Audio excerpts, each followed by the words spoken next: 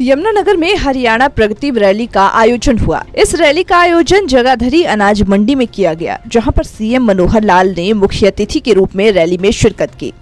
जहाँ सीएम के पहुँचते ही उनका फूल माला पहनाकर उनका जोरदार स्वागत किया गया तो वहीं पगड़ी पहना करके उनका स्वागत किया गया। बता दें कि रैली के दौरान सीएम ने 1014 करोड़ रुपए की सौगातें ज़िले को दी है तो वहीं उन्होंने बताया कि बिना किसी भेदभाव के हमारी सरकार काम करेगी। साथ ही उन्होंने यमुनानगर से जुड़े अपने कई अनुभव भी साझा किए और कहा कि उनका शुरू से ही यमुनानगर से जुड़ाव रहा है। जो भी यहाँ के लोगों ने मांग रखी है, उसे हमने पूरा किया है।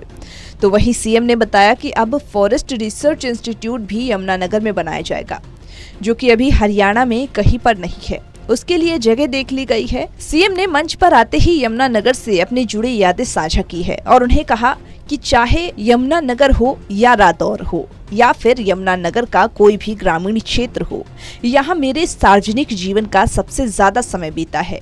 जब घर परिवार छोड़कर समाज सेवा के लिए निकला था, उस समय यमुनानगर के छह साल का अनुभव मेरी खुशी भरा अनुभव रहा। वह अनुभव मेरे जीवन में उत्साह भरने वाला अनुभव रहा। जब भी मेरा गाँव यहाँ दौरा हुआ है और यहाँ के लोगों ने जो भी बातें बताई है, वह सारी पूरी की गई है। उन्होंने कहा कि हम किसी के साथ भेदभाव नहीं करते हैं। अगर पिछले तीन साल के आंकड़ों की बात करूँ तो एक हज़ार तेईस करोड़ रुपए इस ज़िले के अंदर लगाया गया है।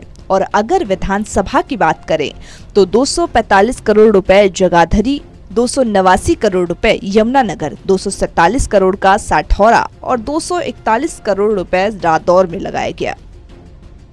जब भी जो बातें यहाँ के लोगों ने बताई, वो सारी पूरी की गई। लेकिन हरियाणा सरकार ने भी पिछले कुछ वर्षों के अंदर जैसा बताया है कि किसी के साथ भेदभाव हम करते नहीं हैं। मैं अगर पिछले तीन साल का आंकड़ा बताता हूँ तो इस इलाके के अंदर एक हज़ार तेईस करोड़ रुपया इस ज़िले में हमने लगाया है। बिना किसी भेदभाव के, और विधानसभा के अनुसार अगर मैं बताता हूँ तो 245 करोड़ रुपया जगाधरी, दो सौ नवासी करोड़ रुपया यमुनानगर, दो करोड़ रुपया सडोरा 241 करोड़ रुपया रादौर। यानी सब विधानसभाओं में लगभग ढाई ढाई सौ करोड़ रुपया लगा है, एक हज़ार तिरासी करोड़ रुपया। उन्होंने भ्रष्टाचार पर बोलते हुए कांग्रेस पर निशाना साधा है। उन्होंने कहा कि भ्रष्टाचार को कैसे रोकना है, यह हमारी प्राथमिकता है। भ्रष्टाचार करने, प्रचार करने वाला कोई नेता हो, चाहे कोई अधिकारी हो, या फिर आम जनता ही क्यों ना हो। जो भी गलत काम करेगा, फ़ायदा उठाएगा, उनको रोकना होगा। कांग्रेस के लोग जगह जगह भ्रष्टाचार की बात कर रहे हैं। भ्रष्टाचार केवल कांग्रेस की सरकारों में ही था। उनकी आदत थी भ्रष्टाचार वाले लोगों के साथ मिल जाना। वे चोर चोर मौसेरे भाई होते थे। ऐसे लोगों को हम पकड़कर सरलाखों के पीछे ले जाते हैं। उन्होंने कहा कि यदि कोई भ्रष्टाचार करते हुए पकड़ा गया तो एक तरफ़ भ्रष्टाचारी तो दूसरी तरफ़ मनोहर लाल खड़े रहेंगे। इस काम में करते हुए कोई गलत काम ना कर बैठे, भ्रष्टाचार को कैसे रोकना है, ये हमारी प्राथमिकता है।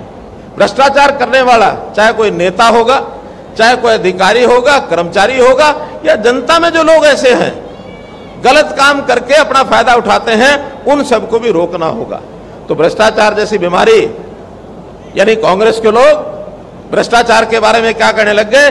जगह जगह भ्रष्टाचार है। भ्रष्टाचार इससे पहले बहुत था, लेकिन उनकी आदतें क्या थी? भ्रष्टाचारी के साथ मिल जाना, ना कुछ करना, उनको पकड़ना, ना खुद कुछ करना चोर चोर मोसेरे भाई ऐसे होते थे। समझौता करते थे, किसी को पकड़ते नहीं थे। हम अपनी सरकार में ऐसे जो लोग मिलते हैं, अपने आप पकड़ते हैं उनको।